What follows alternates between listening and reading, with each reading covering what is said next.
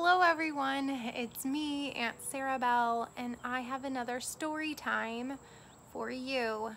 Today in our story time, we're gonna read from one of my favorite authors. So if I had to tell you, it would be Adam um, Rubin, who wrote Dragons Love Tacos and Dragons Love Tacos 2, Secret Pizza Party, and the newest book, High Five, that some of you might already have a copy of. Um, and then it would be David Shannon. He's like my second favorite author. And then following that is Mo Willems. So those are my top three authors. I love and enjoy all of the books that they've all written. Um, and I hope that you might enjoy them too. So we're gonna read a book by David Shannon. It's called The Rain Came Down. And this is a cause and effect book. And what's great about this book is something happens that we don't have control of, like the weather, and then everybody kind of scrambles or does something reactive instead of proactive. So if you're reading this book at home with an older student, this is a wonderful conversation piece to talk about choosing your actions and being proactive versus being reactive and some of the consequences or things that happen. So if you have an older child, you can either talk through or they, if they're able to write on their own, they can write out what happened and then what, what that caused and kind of do like a chain web of cause and effect.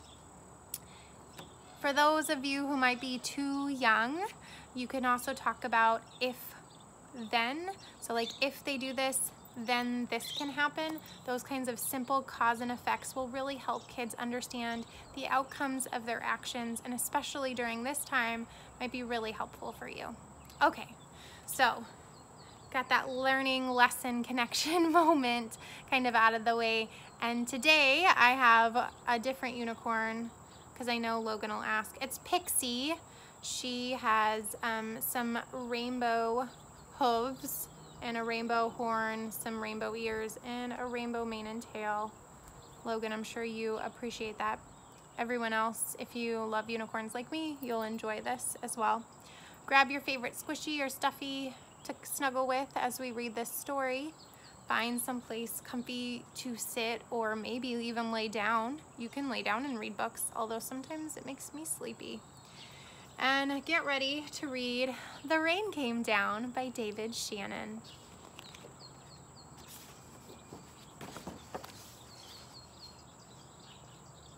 One drop of rain.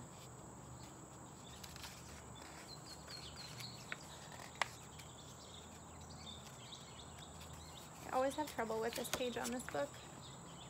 If you notice, when I hold my book, I always hold it and start with the front cover and open it up. On Saturday morning, the rain came down. It made the chickens squawk. Squawk! Can you squawk like a chicken?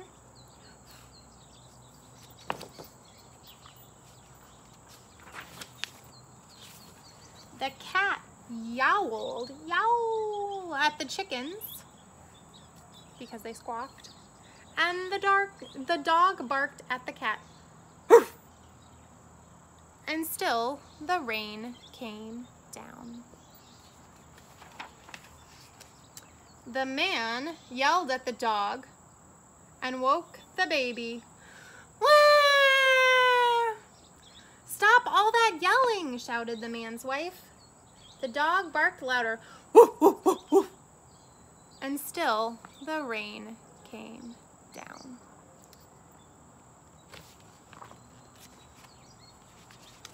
A policeman heard the noise and stopped to see what was wrong. His car was blocking traffic, and half a block away, a woman squirmed in the back of the taxi. So there's the dog, he's barking at the cat who was yowling at the chickens, and the chickens all started because the rain came down and this police officer heard all the commotion and is knocking on their door. And remember, the woman is in the taxi because she's stuck behind the police officer's car. Hurry up or I'll miss my plane, she told the taxi driver. So he started honking his horn. The truck driver in front of him got mad and started honking back. I have tomatoes to deliver, he shouted. So he must be trucking across some tomatoes. Tomatoes are yummy. They can make lots of yummy foods like ketchup, salsa, spaghetti sauce, all kinds of other things that I'm forgetting right now because that's how brains work. all right, back to our story. So the truck driver is honking too, and so is the taxi cab driver. The ice cream man heard all the honking and turned up the music on his van. So here's the ice cream man, and he's trying to get people to buy his ice cream, so he plays music. You may have seen that before. I don't know that it's really the season, but in the story it is. Jingle a jangle went his music. Slap it a slap went his windshield wipers. Slap it a slap. And still the rain came down. The owner of the beauty parlor came out to see what the fuss was about. She bumped into the barber coming out of the barber shop and they began to argue. Up on his ladder, the painter grumbled, I can't paint in the rain. And he started to climb down and bonked the barber in the head with his can of paint. Now, all three of them were arguing. Next, the baker stepped out of his bakery. My roof is leaking and my cakes are getting wet, he moaned. So he opened his umbrella and poked the pizza man in the nose. So they joined in all the bickering too. Bickering means like fighting or arguing. A boy chased a small boat down the stream in the gutter. He splashed a little girl, splash, and she began to cry, ah. And still the rain came down. The grocery man stomped out on the sidewalk and yelled, where is that delivery truck? I need my tomatoes. He ran into a lady coming out of the clothing store and knocked her boxes into the fruit stand. Oranges, apples, and lemons bounced down the sidewalk, and still the rain came down.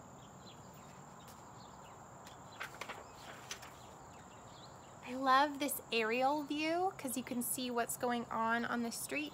So here's the police car. Um, we have another car. We have the ice cream truck, the truck of tomatoes, and the taxi cab. We have the hairstylist, the barber, the painter, the baker, the pizza man, um, a person who's leaning up against this tree trying to find shelter from the rain, the woman who dropped her packages, the groceries, fruit stand, the little boy with the boat and the police officer. The police officer walked back to his car. What's all this ruckus about? He asked. The whole block was honking, yelling, bickering, and barking. And then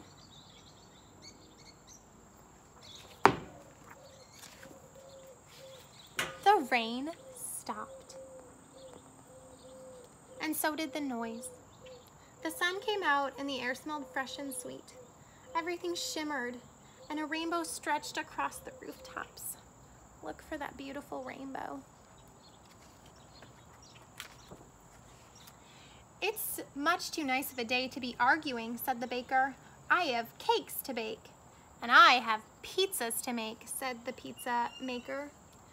I could use a shave while my building dries, said the painter to the barber, and they went inside.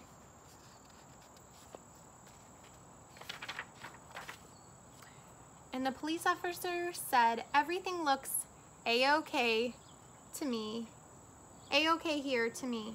Look, he has rainbows in his sunglasses. And he drove off in his car. So he thought it was a big problem because there was so much ruckus. And then all of the ruckus just stopped.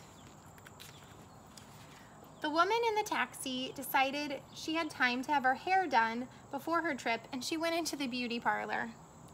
So the lady with the boxes got into the taxi and went home.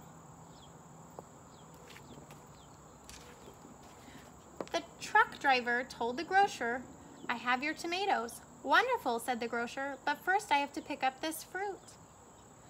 The little girl and boy helped him, So he bought each of them ice cream cones, and the ice cream man gave each of them an extra scoop because it was such a nice day.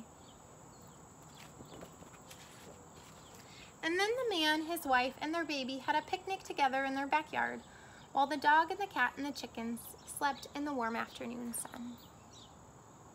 That's the end of The Rain Came Down. What's great about this story is something that we couldn't control, like the rain, started and it caused people to kind of be really reactive and not think about the consequences or what would happen based on what they did. So instead of being reactive, you can take some time and think through what you're about to do and look for kindness instead. And there's no better symbol of kindness than a rainbow. So even when we're in places where we're uncertain about how long the rain might last or just how we're going to find a way to endure whatever storm life brings us, look for rainbows. Rainbows only really occur in nature when a storm of rain has happened. So they're in those harder times. Find the rainbow of your situation and find ways to spread kindness. If you notice that after all the chaos and turmoil that happened because of the rain, people found ways to be kind. They found creative ways to support each other's businesses and to encourage them to do their jobs.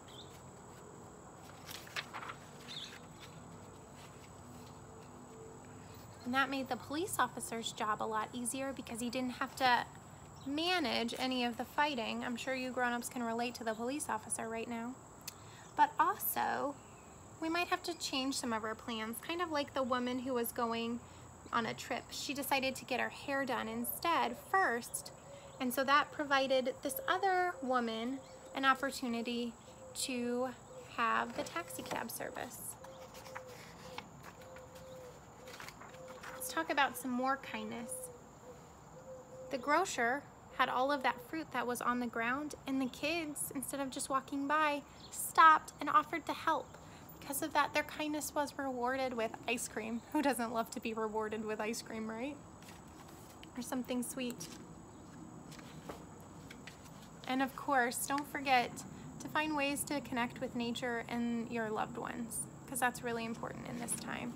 I know those were parts of the book, but not particularly what David Shannon meant when he wrote The Rain Came Down, but it's particularly poignant for this time of our lives and the season that we're all in. We're all in this together. Find ways for you, um, whether you're a child or an adult, to connect with other people that you love and just support the work that they're doing, whether that be schoolwork or um, working remotely or finding creative ways for people who have face-to-face -face contact to work without it.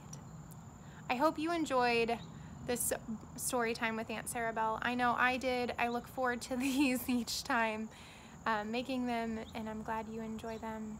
I appreciate you. Take care. Bye-bye.